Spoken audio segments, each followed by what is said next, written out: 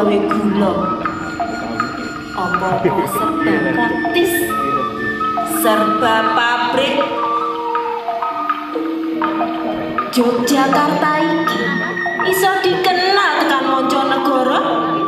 Salah sijine ya mergo tradisi